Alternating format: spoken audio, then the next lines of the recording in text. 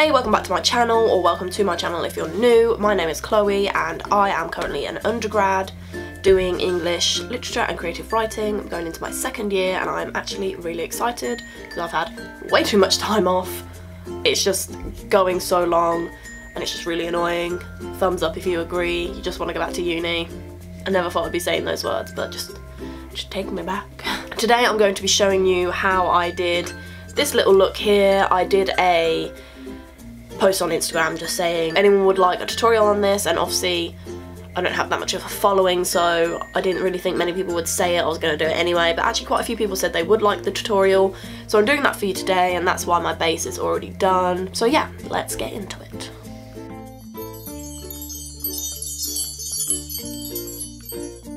Okay, so obviously my eyes eyes are already primed. That's because I did my base. So I will just go straight into the eyeshadow, but if you're gonna do this, I, I highly suggest you prime your eyes. I usually use a concealer and plop it all over and then set it with a powder and I do that to make it one it, it makes the, the concealer will make your eye colour or your eyelid the whole the whole eyelid you'll set the same colour so there's no like discoloration. And the setting is going to make your eyeshadows blend so much easier so much better. So I highly suggest you do that. Colours I mainly used for the brown look were in this palette the Too Faced palette I also have my Colourpop my Colourpop single eyeshadows in Tiki and Paper Tiger that I used. So that's what I used for those brown eye. You obviously don't have to go out and buy these eyeshadows to make this look. If you have any yellows and browns and I can't yeah, if you've got yellows and browns then you can do. So to start off, I'm just going to talk about the brushes I use. I only really use three brushes for the top of my, or the lid of my eyes. And to blend, I use my Morphe G17. This is a really nice, just, just a normal fluffy brush and it's, it's real nice. And for my crease, I use my Morphe E18. This is really good for just, just your crease. It's just kind of a smaller and denser version of the one before. And then for my lid, I just use this normal flat brush. I'm going to first dip into Tiki. It's this really pretty yellow. It's kind of like a, I want to say like a banana yellow, and it's beautiful. It's, yeah, it has got like little sparkles in it, but I find that once you blend it on your eye and blend it out, you can't really see it. So keeping it quite high up, I'm just going to blend it all over my, not all over my lid, but you know, the top. So the same with like other things I've said, it's easier to start with less and add more than try and take it away. So I will start small, so obviously this doesn't look like much, and then I'll just keep adding more just because it's easier to add than take away, so. And then, I don't know if you can tell in the photos, but the colours that were on the lid here was going on the underline here. So what I was doing was just using a small brush, kind of like and going at the same time using the colours rather than afterwards. So now I've done this yellow, I'm just gonna go under my other eye with that colour. And just kind of kind of the same as we did on this eye. I'm kind of blowing it out a bit because it's gonna show through the brown.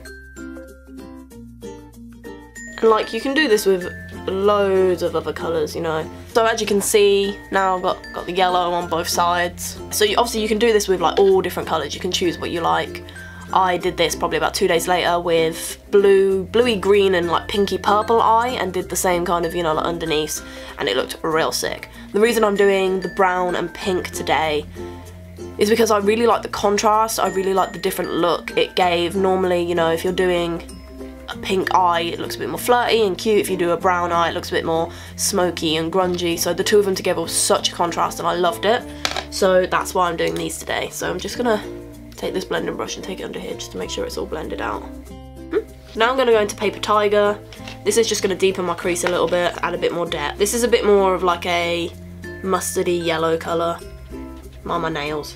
But yeah, this is a bit more like mustardy colour. It's not completely mustard, but it is, you know, it's not as yellow as the other one. And it's absolutely stunning. And I'm going to do that with my E18 that I was saying about. Good tip for eyeshadow and blending is don't hold your brush like here it's not a pencil. If you do this, it's just going to look so much harsher. Hold it as low down as you can. And this makes blending look way more pretty. I'm just kind of, you know, windshield wipers back and forth, making sure it all blends. And then just back with that brush again, just to blend them together.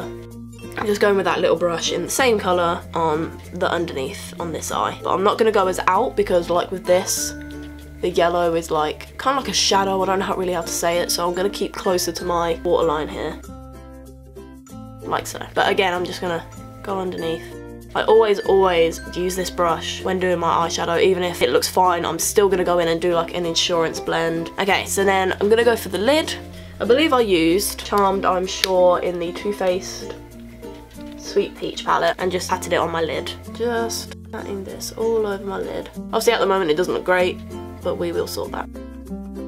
So it's like that at the moment, obviously doesn't look nice. I'm gonna go in with this brush in the same colour and what I'm doing is gonna blend it into my crease think I might have sprayed the brush before putting this brown on, just because it's not looking that great. There it is, that's definitely what I did. Okay, and then I'm just doing what I was speaking about a minute ago, going into the same colour with this and just blending out, blending it through the crease so there's no like harsh, harsh lines, just so it blends up. With that brush again, I'm just going to take the brown and I'm going to stay out on the outer edge. So I'm going to move on to the next eye and to do that I did I did mainly use this. I mainly used this and I think I definitely used some colours from my Brights, my NYX Brights eyeshadow palette. Okay, so when doing the pink eye, for my blending colour, I was using the Candied Peach, and even though you can see there are sparkles in that. It's the same as the yellow one. Same as the yellow one from Colourpop. It has sparkles, but then once you blend it out, you can't really see them. So I'm just going to take some of that, do the exact same thing as I did with Tiki. Again, taking it higher up than I probably need to. And as you can see, you can't really see the sparkles in it. It looks like a matte shade. So just going to use this brush again, and I'm going to go into Candied Peach and do my eye here. The same way I did the yellow one. And again, just with the Morphe G17, so my blending brush, I'm just gonna make sure there's no harsh edges. So then, with my E18, I'm going gonna go into this kind of pinky neon colour in my NYX Brights. It looks a lot brighter than it is, or at least, that makes it sound bad. It's, you can control it. You can control how bright it is by just dipping in a little bit. Just a little bit. You only need a little bit. So that's what I do, I kind of just, and then just put it in the crease. See what I mean? It doesn't look as like in your face bright fuchsia.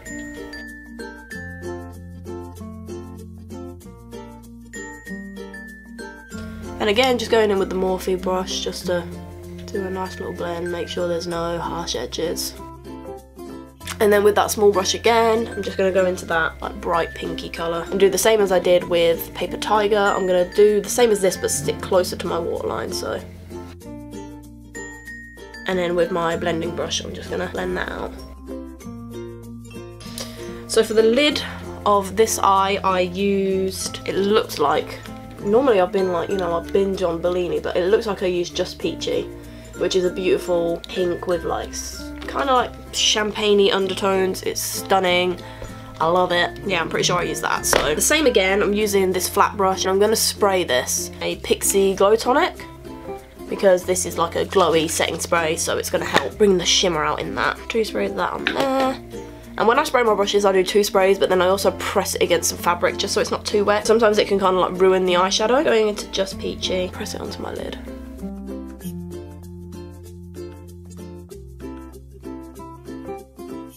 And then even though this one doesn't need it as much, I'm still gonna go, still gonna take my E18, go in the same colour and blend it through my crease. With that small brush, I'm gonna take just peachy. But rather than put it on the outside here, I'm gonna put it on the inside just because with shimmery colours, you're gonna stay on the inside. So that's the eyeshadows done. For the liquid eyeliners, what I did, and this is a trick that you can do if you want a coloured eyeliner but you haven't got a coloured eyeliner. If you have a brush like this, you can quite easily, a liquid lipstick, which is what I did, and I took this brown, because it's the one that matched this eye the most. I got some product on here, and I'm just going to do an eyeliner like I normally would.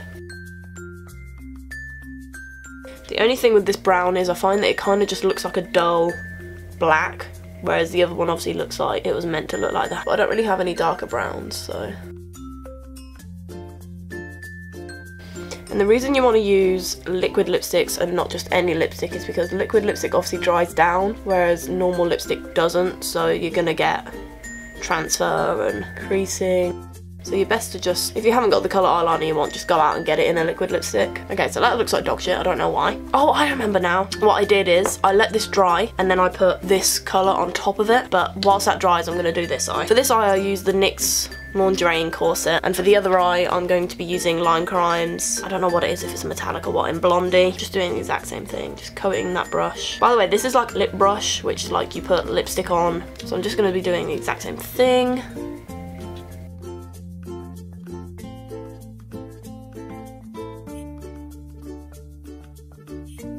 So now I'm sure this side is dry. Yes, you can see it's dry and I can feel it's dry. So I'm gonna take the product off my brush and then going to Charmed I'm Sure in my Sweet Peach palette. Just gonna get loads of eyeshadow on there and just go over this colour.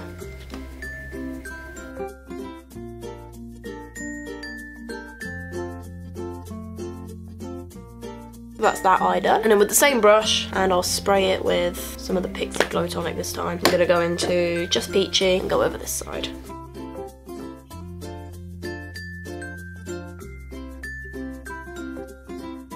Okay, so th this is the eyeliner done. Could have been better, but could have been worse. So, um, I haven't got any fake eyelashes at the moment, but what I've been doing is putting the NYX Milk pencil all over my eyelashes Kind of like those mascaras used to get where you'd coat them in white first and then put mascara on second. So that's what I've been doing just to make them look a bit better.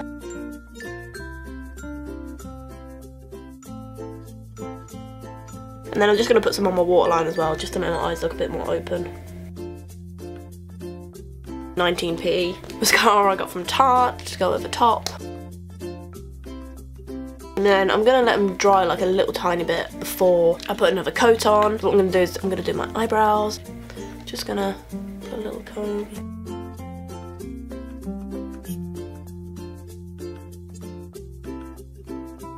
Okay, so I've kind of just like drew on the end. I've been into this real natural brow recently. So I'll do the end and then I kind of comb the product through as best I can just to kind of like blend them in a bit. And then I'm just going to use the MUA brow gel. I'm just going to run this through my brow hairs. That's the brows are done. Just going to put another coat of mascara on.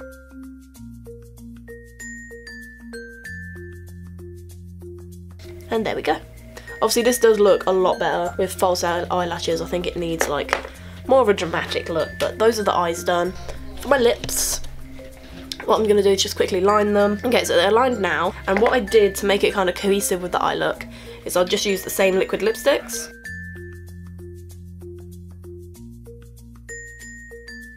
So I'll pop that all over, kind of wait for that to dry a bit. Taking this one, just to pop it in the middle. And because this doesn't pop that much, I don't know why, I think it's because it's on the brown, I'm going to take Just Peachy from the Peach palette and just pop it on top of there. Now, so this is the finished look and I personally really love it. Like I said, I love the contrast between like, you know, the pretty pink and then like the grungy brown. I also like how this one's like matte and this one's shimmer and I just love, you know, mixing it up a bit. Comment down below if you like it and if you try it, please let me know. Send me some photos or, you know, whatever. Just show me in person because I probably know you. I would love to see, you know, remakes of this and how people change it and stuff like that, that'd be cool.